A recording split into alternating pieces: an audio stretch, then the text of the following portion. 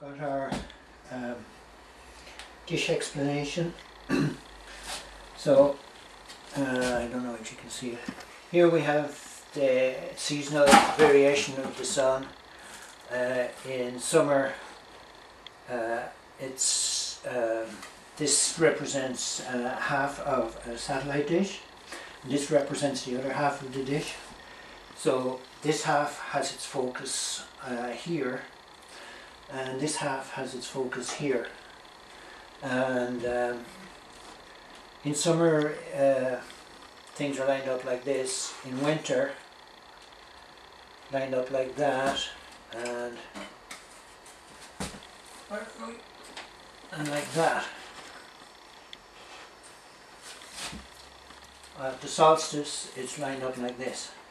And the reason this is good is because with this sort of arrangement this is on equatorial mount, polar mount, and um, the focus is on the axis that it rotates on. And when that happens, uh, the focus remains at the one point all day as long as it's turning at 15 degrees per hour. And um, what do I want to show you today? Oh yeah, this is turning, but see the collectors are not turning uh, because they are through the axis. So it's turning on that axis. This is really simple concept, uh, but people don't seem to have got it yet. And uh, what else do I want to show you? This uh, represents some sort of cooking pot, but it could be a box cooker, why not? This represents, in this case, this represents a little tank for water because um, pasteurization of water is really important in poor countries. So a tank like this, at the focus, this is turning so this is um, morning and here's my method for rotating the thing. We have water, this is just a demo, there's nothing in this, but there's water in a float in this and there's water in a float in this. I'm just going to show you the float. So, so that would, imagine that as the float, this is full of water. I'm sorry, this is not full of water, but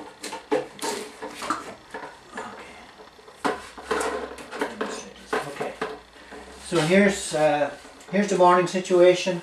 This is water full to the top or pretty close. This is way down low.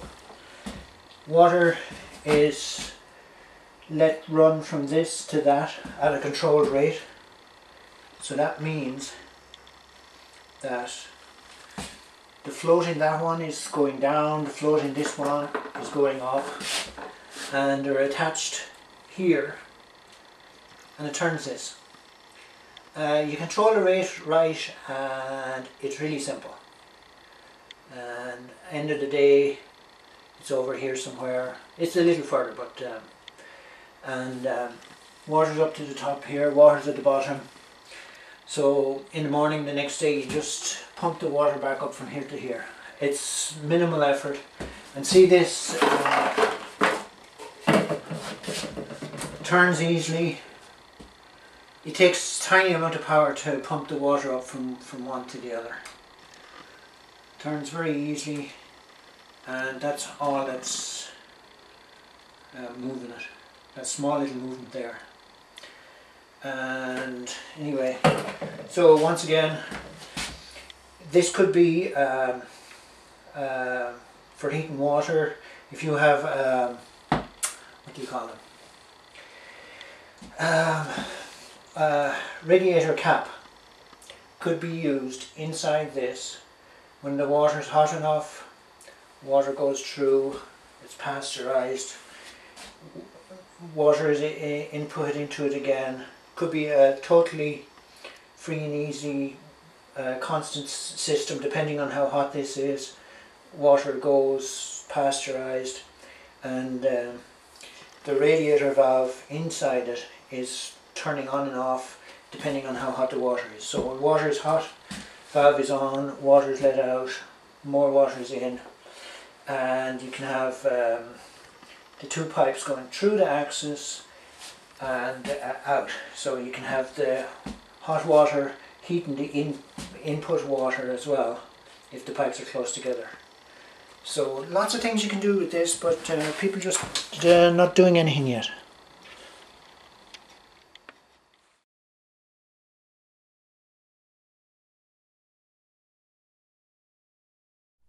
Here we have a picture of the whole thing. There's uh, everything's there. There's the equatorial mount up top, and in the middle of the mount is uh, the piece that controls the speed of it. So let's just say it's a piece of string and it's going down to uh, this little device that's the timer. The little blue uh, gear rotates anti-clockwise at a fixed rate and arrow and uh, square at the bottom are the valve. The arrow goes down, pinches the rubber pipe and closes off the water flow.